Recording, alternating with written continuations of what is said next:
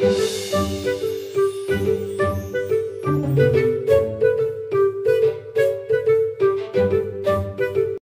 a very good day to you all.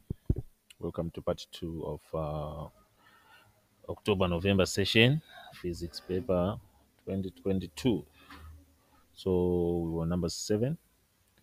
Let's continue from where we left. Number 7a. What is meant by total internal reflection? So this is a condition. When light, the condition when light travels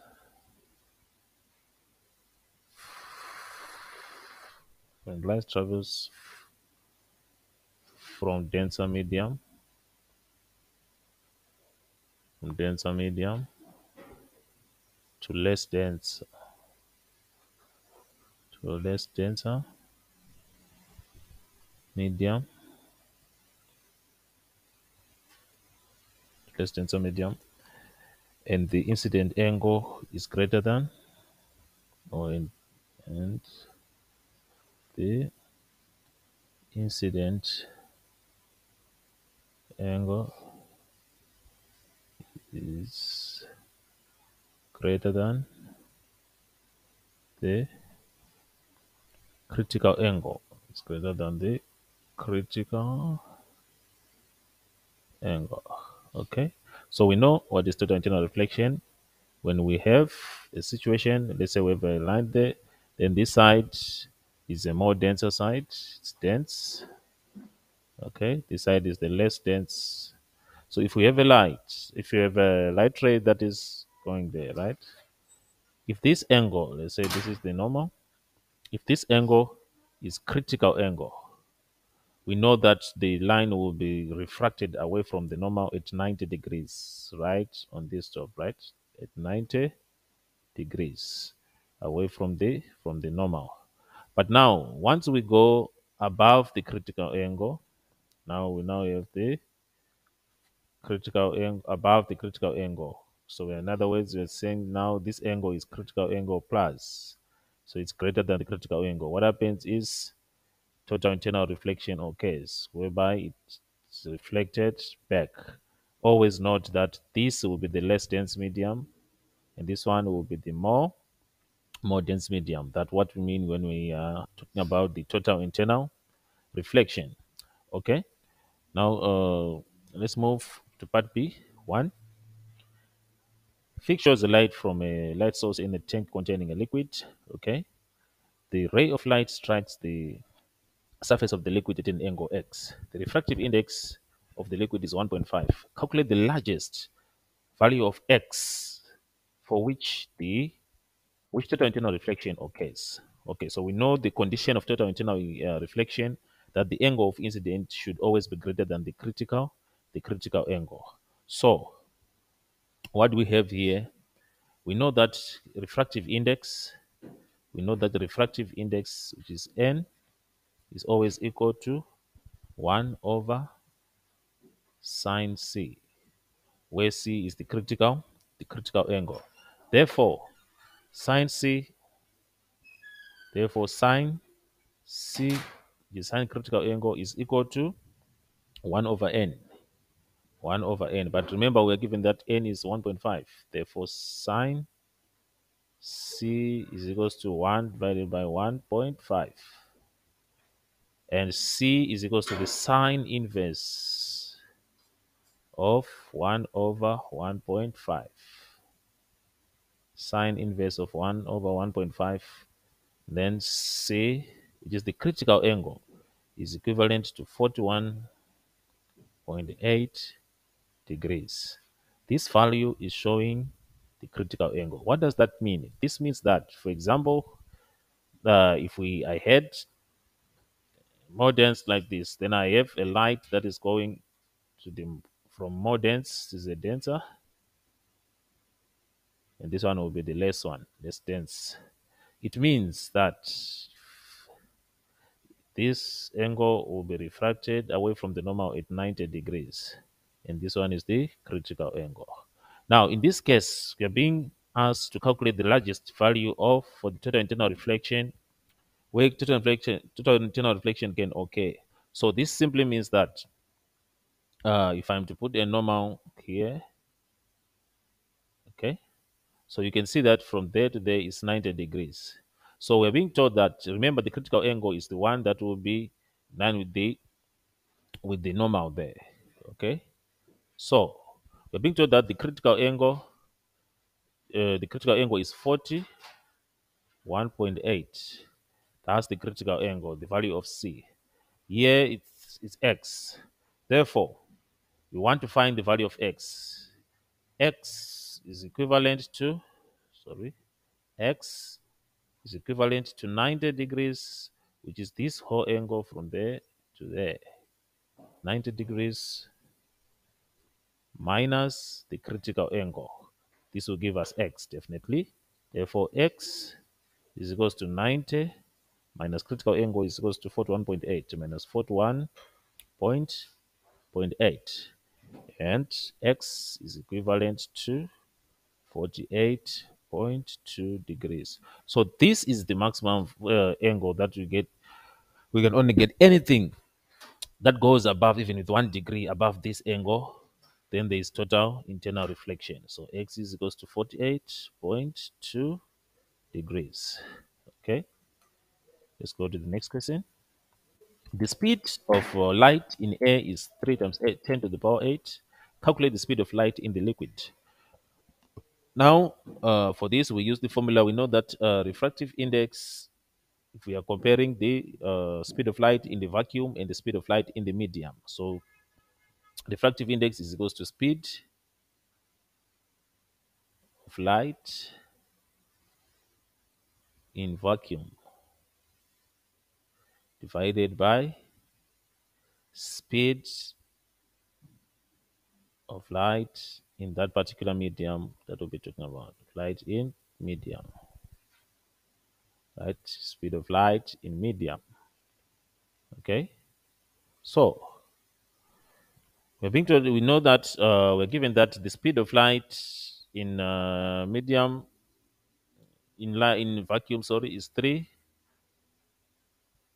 times 10 to the power 8 meters per second. Okay? Divided by the speed in the, the speed in liquid, let me call it VL, speed in liquid. But we know the value of n. So we have n is equals to 3 times 10 to the power 8 meters per second divided by by v, the velocity in or the speed in liquid. Sorry, here it's 1.5. The value of the value of the refractive index is equals to 5. Therefore, I have to make VL subject to the formula, which is the velocity in the liquid, right? Therefore, VL is equals to 3 point, 3.0 times 10 to the power 8, which is the speed over the 1.5, which is the refractive index. So if I divide the two, I will have 2 times 10 to the power 8 meters per second. So the speed of light in the liquid is 2 times 10 to the power 8 meters per, per second. Okay. So let's go to the next question, which is number 8.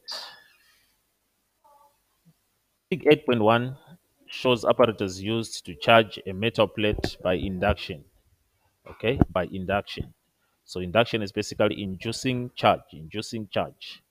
Describe and explain how the apparatus shown in Fig uh, 8.1 can be used to charge the metal plate. Okay, those are the apparatus that we have. I'm seeing the positively charged rod. There's a metal plate. There's an insulator, and there's lead connected to to earth. Okay, so I want to charge the metal plate. So the first thing that I have to do here is to bring the plastic rod close to the metal plate. Okay, bring the plastic rod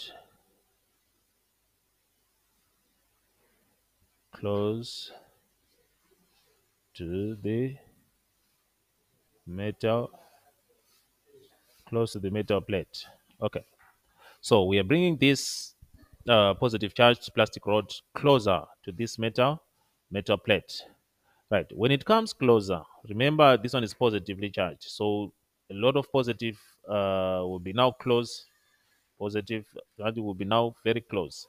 What does that does that mean? It means that in the metal plate, in this metal plate, all the positive are going to be repelled with these positive ions. So all the positive ions are going to move to the left side, and most of the negative uh, charges will move to the to the right to the right side due to the fact that uh, like charges repel and unlike charges attract. So we then go here, then you connect. Uh, actually, electrons electrons of the metal plate will come closer to the to the rod. Of course, then the electrons of the metal plate will come closer to the plastic rod. Okay, they will come closer to the to the plastic rod. Then, after the electrons have moved closer to the plastic rod, there's no problem. We can now connect the lead to earth and just connect lead to earth. This will lead more electrons, more electrons, more electrons will move onto the metal plate. Will move on to the metal plate. So most of the electrons will then flow to the metal plate if we connect that uh, lead, right? We'll move to the metal plate. Then, of course, you then remove remove the earth and remove the, the rod itself. Remove the earth and the rod. Remove the earth and the rod. Then the net charge there, the net charge, the net charge is negative. So we have definitely the negative, uh, the net charge is negative. Okay. Let's move to the. Figure 8.2 shows an electric circuit. On figure 8.2, draw an arrow to show the direction of flow of electrons and explain how you determine the, the direction. Okay. So we know that current flows in this direction. Obvious from the positive from the positive one, it is the direction of flow of current. Right? Definitely, if current is flowing in this direction, it means that the electrons will be flowing in this direction. So this is the arrow of the of the electrons. So an arrow to show the flow of electrons. So electrons will be flowing in this direction. So this is the arrow that is that is required there. Okay. Let's remove this one. Okay. That is the arrow that is showing. Explain why the reason is that electrons flow in the opposite direction to current. Always you must know that electrons electrons flow in opposite direction to to current. They all flow in opposite direction. Okay. Next person. Fig 9 shows the circuit, 9.1 shows the circuit with an alternating current AC, supply, a resistor, and a diode. The frequency of the power supply is 50 hertz. Calculate the time period. Time period, time for the one complete cycle of an AC supply. Okay, we know that time period is given by T, which is the, uh, if we are to relate it with frequency, we know that frequency, frequency is equals to number of oscillations in a given time, which is 1 over t. Frequency is equals to 1 over 1 over t. But we're being told that the frequency, uh, the frequency of the power supply is 50 hertz. So it means if we are to make t subject to the formula, we have t is equals to 1 over 50 seconds. t is equal to 1 over 50 seconds, which is 0 comma 025 0 comma 02 0 comma 025 seconds. Okay? 0 comma 025 seconds. Now the peak potential difference pd across the resistor is 340 sketch a graph to show how the pd across the resistor varies with time for two cycles varies with time for two cycles okay so for the first one we know that uh, when we are talking about an AC, an AC is an alternating current, so it flows in both from the positive and the negative. So in AC, will be flowing like this, right? Positive to negative, positive to negative. But now we are being uh, the question is saying sketch a graph to show how the PD across the resistor varies with time for two cycles. So from this point to that point, it's a cycle. We know that what is a cycle, right? A complete uh, revolution from that point to point. That's where there's the wavelength, right? That's cycle number one. That means a cycle number two is supposed to go to be here. So we have one cycle and the second cycle here, right? It is an AC, AC current. Remember? Okay. But now I cannot leave it like this because there is a diode. It means that diode only uh, allows current to flow in one direction, right? It's positive, which means here, one cycle has got how many seconds? Time period. We were told that each time period has got 0 0.02, 0 0.02 seconds, right? Means here it will be 0 0.04 seconds. Those are two cycles, okay? Which means half cycle is equal to 0, comma 01. Here it will be 0, comma 0, 03.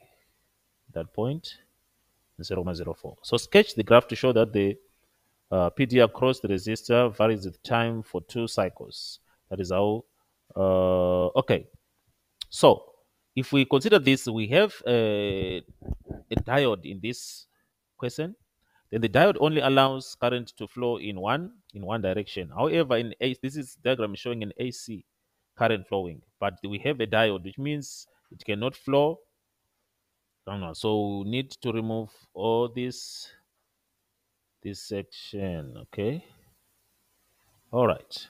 Then it will be left like that. That is the diagram that will be showing two cycles with the time for two cycles, right? Label the PD, the potential difference axis, with which the value of the PD at the peak, okay? At the peak, definitely we have, uh, let me, at the peak it was said to be 340, 340 volts, okay? Then label the time axis with two values of of time. Okay, that is the one that we were talking about. So here we find out that it was 0.01.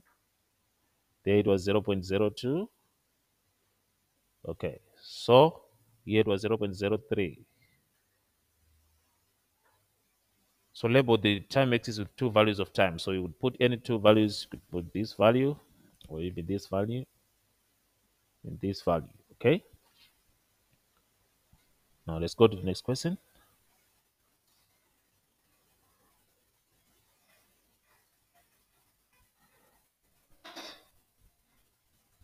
A cloud chamber can be used to detect the alpha particles and the beta particles. Alcohol in the cloud chamber exists as a vapor It condenses on ion produced in the air. This forms visible tracks. Fig 10.1 shows the tracks when a source of alpha particles and beta particles is present in the cloud chamber. Some of the tracks are short and thick, other tracks are longer and thinner. State and explain which tracks are produced by alpha particles and which tracks are produced by beta particles. Okay, so we need to know the characteristics uh, of alpha particles and the characteristics of uh, beta particles.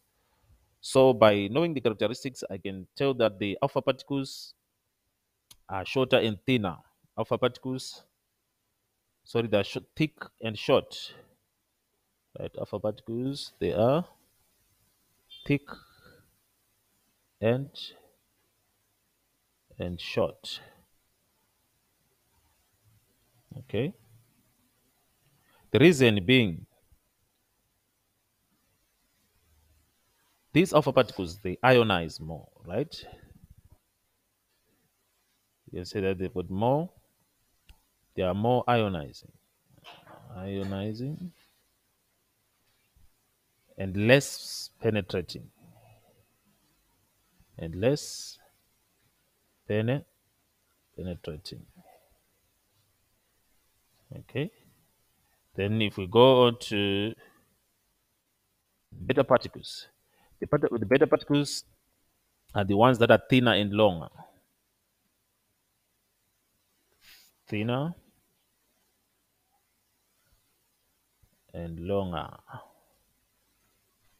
Right, these ones now, they've got less ionizing power, less ionizing, they are less ionizing.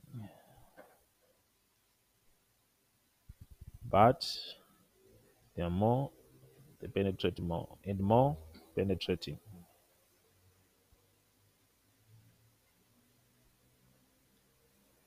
Don't forget that we said that the alpha particle in the, the sorry, don't forget the differences between the alpha particle, the beta particle, and the gamma. All those things uh, we've covered them. Okay. So a radioactive isotope of sodium is used to detect leaks from water pipes. A nucleus of this isotope of sodium contains 11 protons and 11 neutrons. This nucleus decays by emitting the beta particle to form a nucleus of uh, magnesium. Describe what is meant by an isotope. Okay, an isotope, these are atoms of the same element. Okay, atoms of the same element. These are atoms of the same element with same proton number but different neutron number. With same proton number but different neutron number.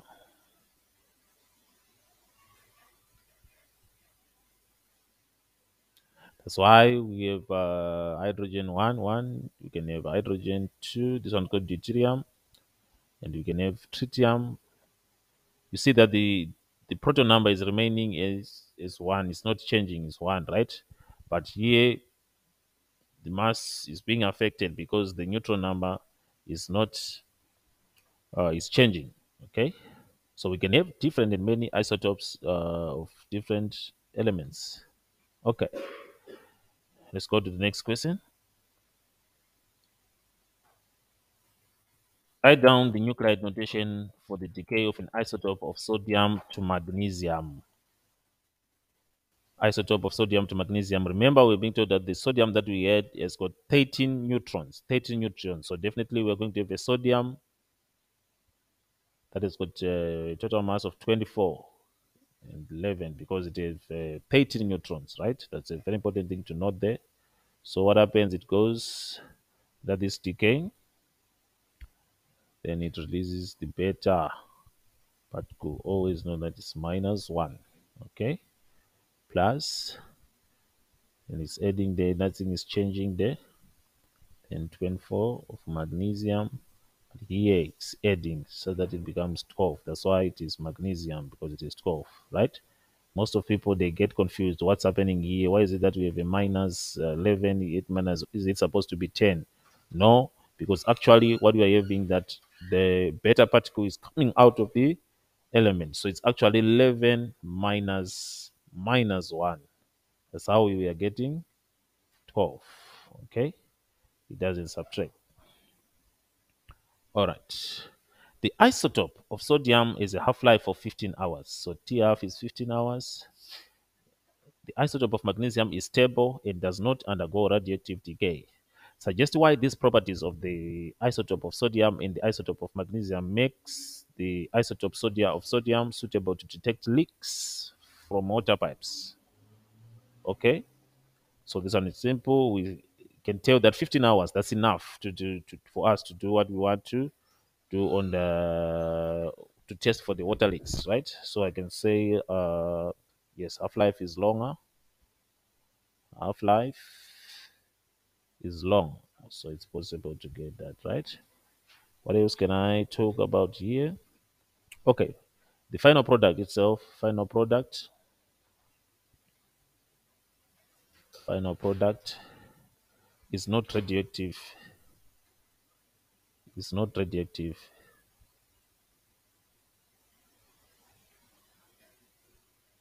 It's not radioactive.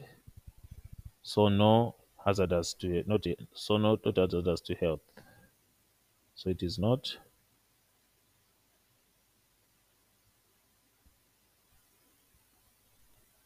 hazardous to health.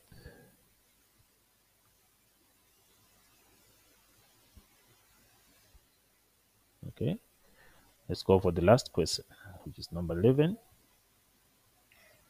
Fig 11.1 shows a solenoid connected to a battery. On Fig 11.1, draw the pattern of the magnetic field inside and outside the solenoid, indicating the direction of the magnetic field with an arrow. Magnetic field with an arrow. Okay. So what we can simply do here, uh, we know that we have the direction of uh, current. This is the direction of current. Current is going. Field will be generated in this manner.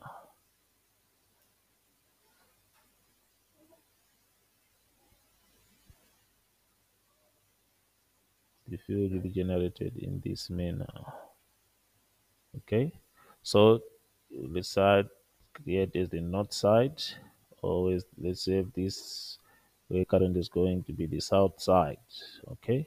So always in the direction field goes from north to south. The arrows they must show you that this field goes from north to to south.